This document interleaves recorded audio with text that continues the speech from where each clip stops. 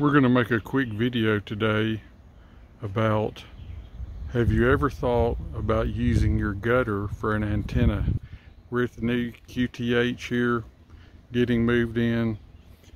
We're getting there. Looks pretty good on this side. This side over here is still looking a little bit rough. Got some painting to do, stuff like that. But anyway, I was out here playing antenna and playing radio one day and it dawned on me that uh, well on that day I was using a uh, end-fed half wave and I was doing some testing. And while I was doing that testing I thought that you know I wonder if my gutter would make an antenna you see these YouTube videos where people have used their gutter on their house as an antenna with uh, somewhat mixed results from what I watched. But I thought, you know, I'm out, I'm out, uh, I'm out here and I've got the equipment set up. I've got the unun out here. I got my antenna analyzer set up. Why not hook up to the gutter? So I hooked up to the bottom of this gutter right here. Well, first thing I did was test continuity from the bottom of this gutter all the way up, across, and down the other side. And I had continuity all the way from one end to the other. So I thought, you know, this will be interesting. We'll see what happens.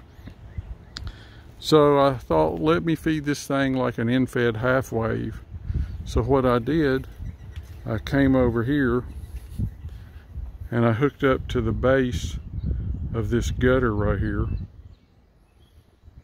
with my antenna analyzer to see what I would get.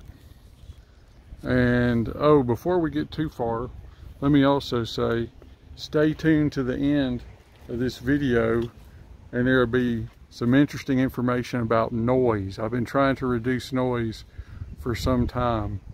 And at the end of the video, there will be a, a special note about noise uh, and such as that. It'll be interesting, so stick around. But anyway, I hooked my antenna to the base of that gutter right there. And when I started reading it on 40 meters, then I don't remember exactly what the impedance was, but it was somewhere near two ohms. And I thought, man, that's crazy low. What is causing that to be near two ohms? Then it dawned on me that I was using, actually using a, a 64 to 1 unun. And I got to thinking, if I remove that unun and hooked it up like a regular antenna, using radials, what would I get? So that's what I did. I took a uh, connector and I connected the center pin of the connector to the base of the gutter. I had about, uh, actually there's about two feet of wire between the connector and the base of the gutter. That's where I hooked up my antenna analyzer. And when I did that and put some radials on there, I had a perfect resonance with broad bandwidth around 7.2 megahertz. So it appeared that without much effort at all, I could use this gutter as an antenna because it resonated fine uh, with the antenna analyzer. I hooked it up to the radio and the radio was happy with it too. SWR was almost one to one. So I got it all set up and if you're not familiar with it, there's a net called the Band of Brothers where they do seven meter uh, antenna and audio testing Monday through Thursdays. If you haven't been there, check it out. They have a Facebook page too. But anyway, so I hooked everything up when the net started. Uh, I threw out my call sign, they responded. And although the, and the gutter had a perfect resonance, the uh, signal report was 5.3. So not too good. That was 5.3 to the station that's about 200 miles from my QTH. There's another station about 400 miles away. He couldn't copy me at all. Then there's another station about, oh, 600 miles away, and he couldn't copy me at all. So, although it was resonant on 40 meters, and everything looked good, uh, the efficiency of the trying to use a gutter of an ant as a antenna just is not there.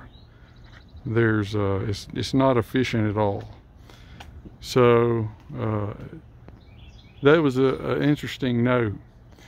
The loaded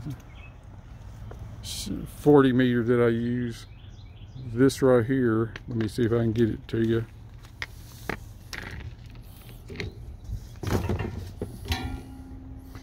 This loaded uh, extension that I have for my 20 meter antenna that I, I squeeze a 20 meter antenna on top. I get a 5.7 with it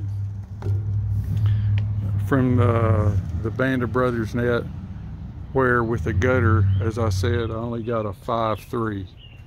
Uh, anyway, so very interesting. It's not very efficient trying to use a gutter as an antenna. You can do it, but it's not the best thing to use. All right, and let's see here. Oh, I promised a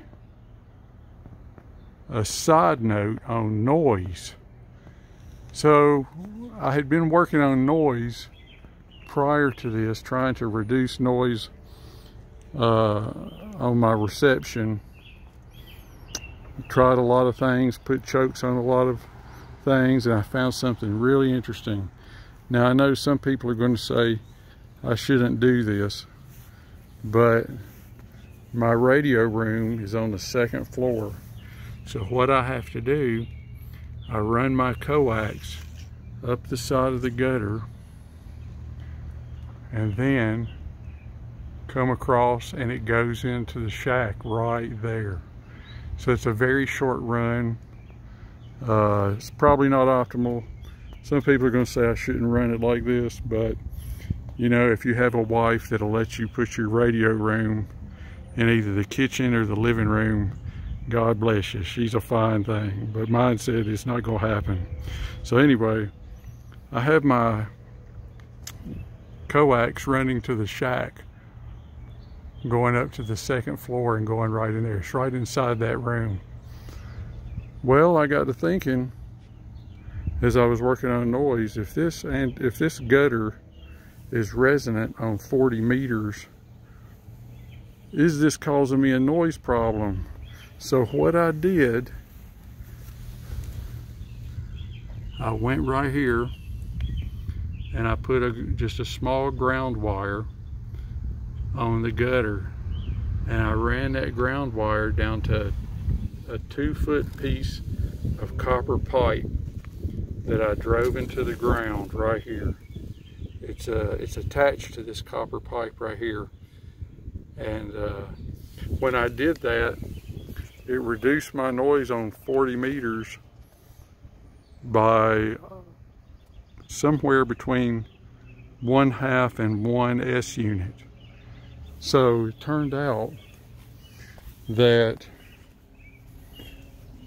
this gutter was causing me to have noise on my coax. Uh, common mode currents, I guess. And, uh, and I had choked it already at the radio and at the antenna. So anyway, the gutter was still causing me noise. So if you run into a situation like that, you never know if something adjacent to your cable is causing a noise. Uh, that ground may not be the so-called appropriate ground by the electrical code, but hey, it was connected to nothing before and it only runs across the back of the house. So it works and we're going to stick with it for the time being. Anyway I thought that was interesting. So if you ever think about using a gutter for an antenna you may run into some efficiency problems. Now one interesting note I was sharing this finding with a guy in my ham radio club and he was saying that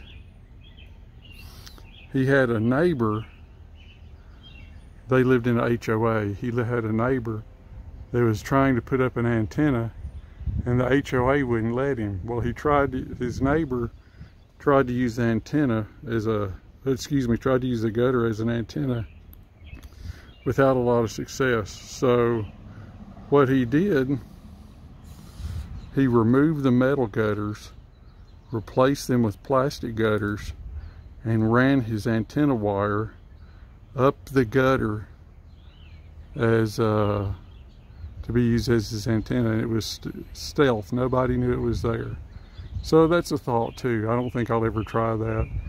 Uh, I've got other options here. But uh, I didn't think to mention that the gutter on my house itself in, in length is probably about a three quarter wave for 40 meters. So anyway, just gee whiz information.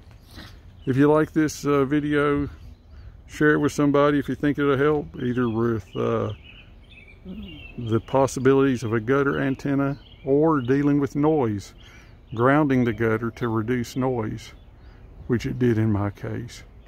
So anyway, if you like this video, subscribe, share it with somebody if you think it'll help. And until then, here's one more view from the new QTH.